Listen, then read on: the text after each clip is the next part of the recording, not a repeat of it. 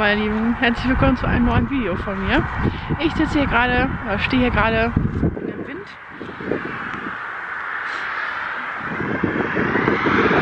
Da ist es ein bisschen ungewohnt, ähm, im Freien zu erzählen.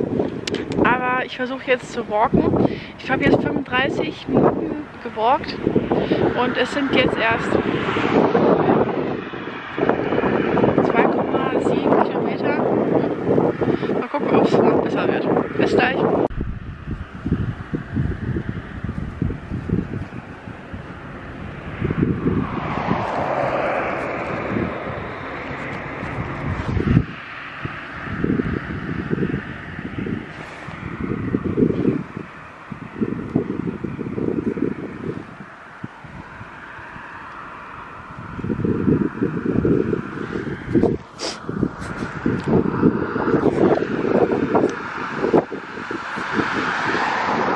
Hallo meine Lieben.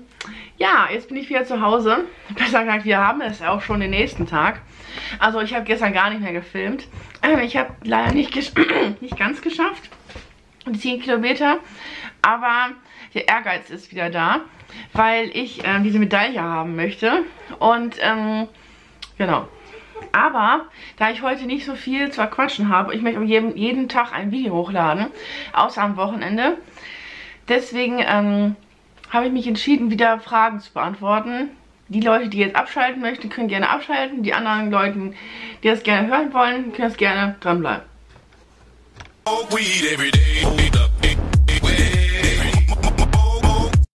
So, fangen wir mal an. Also, die erste Frage ist, welche gesunden Snack magst du am liebsten? Ähm, tja, Mandarinen, also Obst an sich. An sich Obst. Egal welche eigentlich, außer jetzt so, nee, doch nicht. Äpfel, klar, ich habe sie auch zu Hause. Ich esse sie auch, aber ist nicht mein Lieblingsgemüse. Obst. Genau. Wie fest ist dein Han Händedruck? Nicht so fest. Er ist jetzt nicht so wabbelig und auch nicht sehr fest, dass ich jemanden ähm, wirklich die Hand brechen könnte. Nein, der ist ganz normal, glaube ich.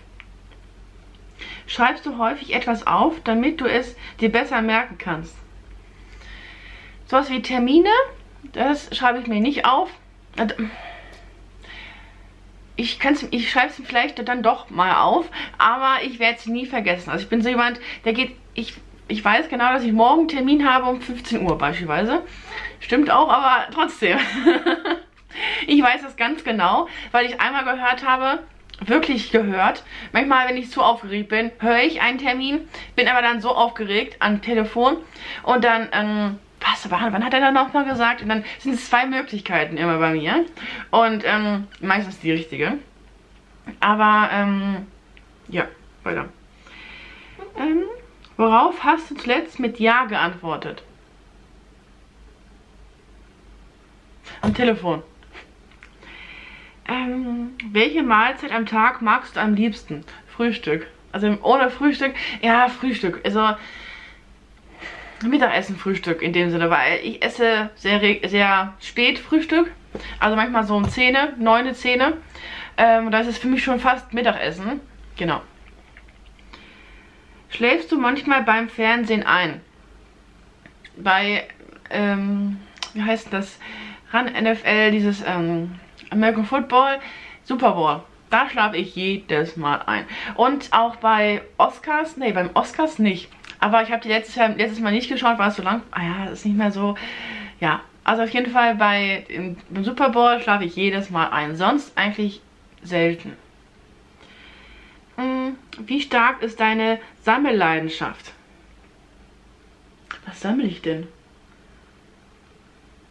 Nee, ich habe gar nichts zu sammeln. Ähm, hältst du dich immer an den Plan, den du gemacht hast? Nein. Der kann auch gerne mal abweichen, das ist auch nicht so schlimm. Komm. Naja, egal.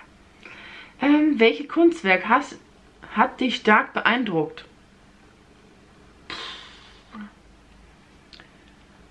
Die Berliner Mauer, ist ein Kunstwerk? Glaube schon, ne? Ja. La ähm, lässt du dich gerne überraschen, wenn du, du essen gehst?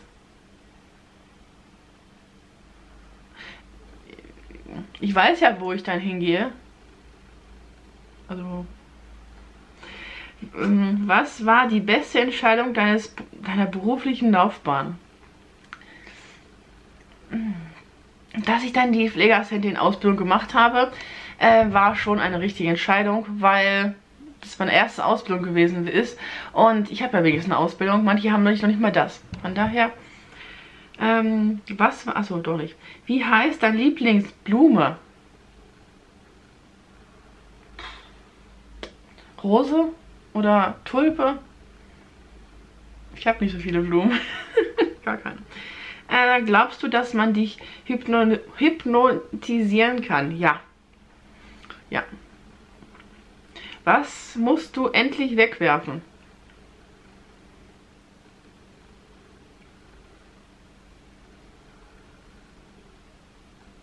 Also hier in der Wohnung wüsste ich jetzt gerade nichts, was nicht geht. Doch einen alten Toaster. Nur ich kann den halt nicht einfach so in den Mülleimer schmeißen. Ich muss halt wirklich dann erstmal ein bisschen warten. Und dann halt warten, warten und warten. Nein, Spaß. Wenn ich noch ein bisschen andere Sachen habe, die ich auch wegschmeißen muss, dann muss ich nämlich ähm, Sperrmüll anmelden. Ja, ich könnte auch irgendwo hinfahren, aber ich habe nur einen Roller, ja. Ähm, welche Stadt im Ausland würdest du gerne besuchen? Ach Gott, habe das schon erzählt, ne? New York, dann auf jeden Fall Manchester, Leeds. Aber das auch richtig ausgesprochen, weiß ich nicht.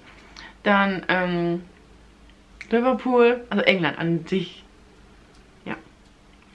War schon immer schon so. Nicht nur wegen Emmerdale und der Organisation, sondern auch, ähm, es war schon immer so. Also Wirklich, England ist schon irgendwie cool. Ich weiß nicht.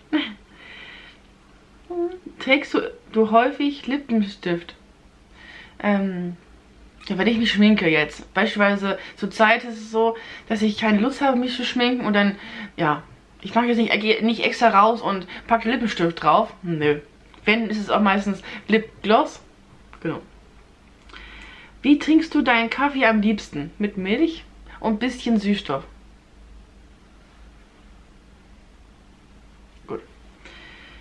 Gehst du gelegentlich auf den Friedhof spazieren? Nein. Spazieren auf dem Friedhof, ohne einen Grund. Mein Gott, komm Kamera. Ja. Auf dem, Spazier also auf dem Friedhof spazieren gehen, ohne einen irrrichtigen Grund. Nee, das ist mir ein bisschen zu un unheimlich. Dann die nächste Frage ist, wie viel gibst du maximal für eine gute Flasche Wein aus? 0 Euro. ich trinke keinen Wein. Wie würdest du auf ähm, deinen kleinen Kleidungsstil beschreiben? Wie würde ich meinen Kleidungsstil beschreiben? Ähm, normal, lässig, ja. Was ist wahr geworden, wovor du als Teenager geträumt hast? Ich in eine Wohnung habe und in der Realschulabschluss. Ja, das ist halt so eine, aber trotzdem, ja. In welchem Meer bist du zuletzt geschwommen? Mittelmeer? Glaube ich. Mein Gott, das ist auch schon Jahre her. Das ist wirklich acht, neun Jahre her. Weil es so kalt war. Und das letzte Mal, als ich meine Oma in Spanien war, ist das Mittelmeer? Mhm. Ähm, ja, auf jeden Fall in dem Meer in Spanien. Ähm, ja, es war aber arschkalt. Ich, hab, ich war nur in, in, den Füßen drin und das war schon nicht angenehm. Und deswegen war ich nicht drin. Ähm, kochst du oft Fertiggerichte? Ja, nicht oft, aber ab und zu natürlich auch, ja. Ähm, wo fühlst du dich geborgen? Zu Hause bei mir, hier, in dieser Wohnung. Fühle ich mich geborgen. Ja, das Einzige. Was ist deine Schönheits Schönheitsgeheimnis? Hab keins. Bist du manchmal streng mit dir? Ja.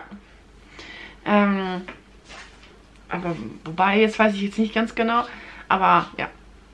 Bist du manchmal, also, welche Gesch Geschichte wird schon seit Jahren immer wieder in deiner Familie erzählt?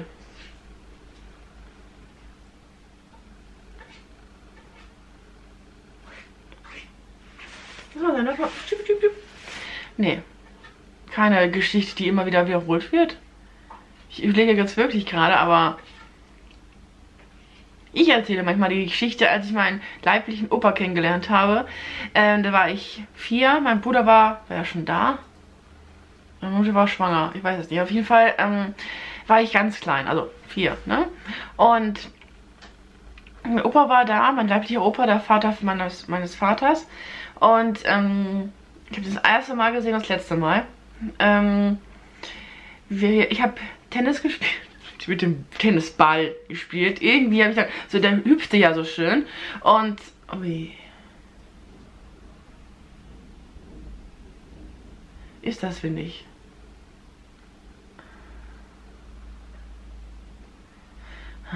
Ja, ich muss trotzdem. Ich muss, ich muss.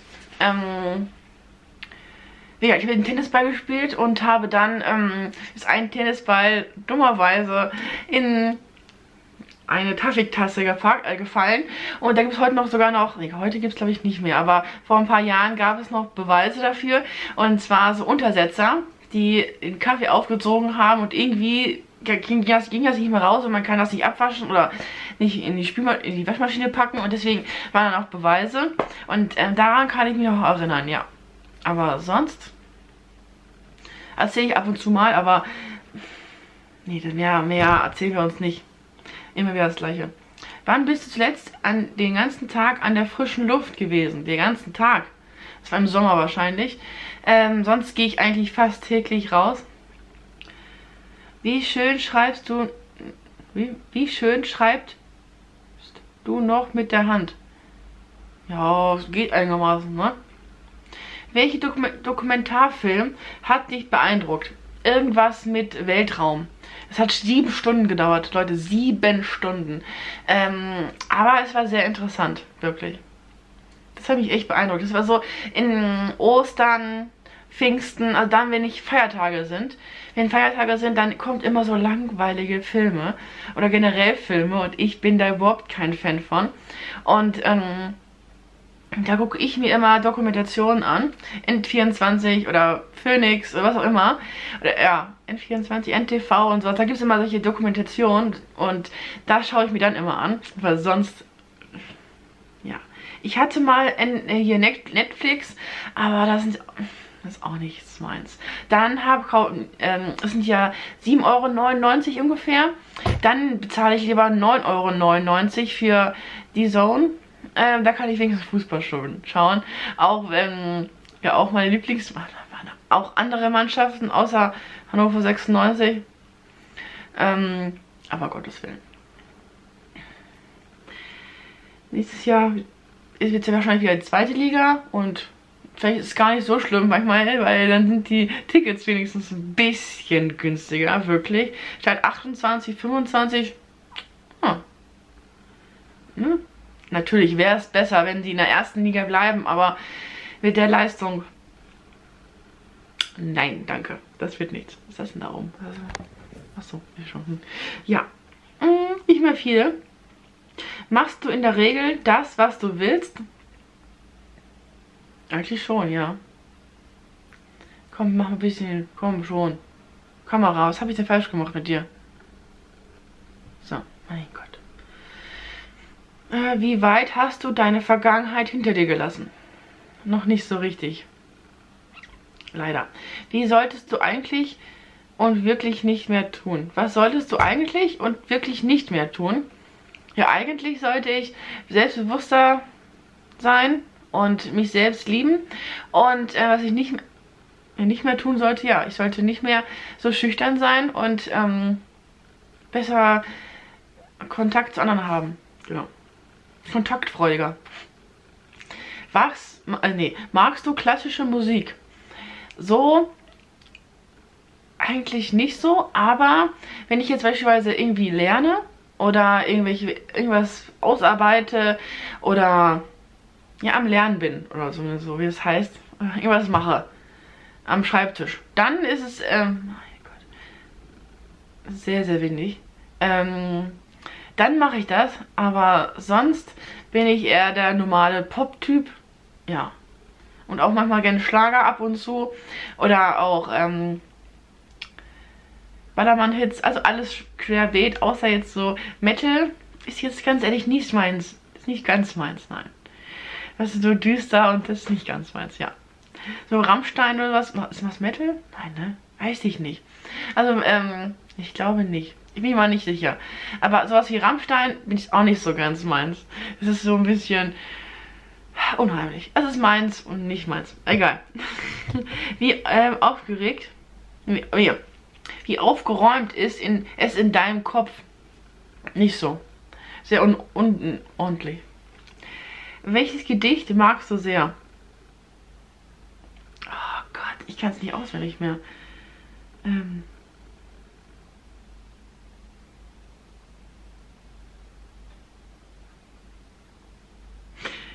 okay. Ähm das mit diesem Baum und der Opa und ähm, dem Apfel, ich weiß es nicht mehr. Tut mir leid, aber das habe ich auch lernen müssen. Genau. Welch, bist du ein guter Verlierer? Ja. Wer sollte dich spielen, wenn man dein Leben verfilmen würde? Kenne nicht so viele, viele Schauspieler, aber ähm, Nee, wüsste ich jetzt leider nicht. Tut mir leid. Wie viel Zeit brauchst du, um dich für eine festliche Anlass zu stylen? Höchstens eine Stunde, wenn überhaupt eine Stunde. Ja, zack, zack. Ich habe da nicht so viel anzuziehen. und ein bisschen Schminke in die, ins Gesicht klatschen und fertig, ne? Genau, mal Lieben, ich höre jetzt auf zu quatschen. Das wird ein ganz ein bisschen kürzeres Video, weil ich gestern nur draußen war. Nur draußen. Ja, egal. Ich wünsche euch jetzt ein wunderschönes Wochenende. Ah, nein. Nächsten schönen Abend. Bis zum nächsten Video. Tschüss.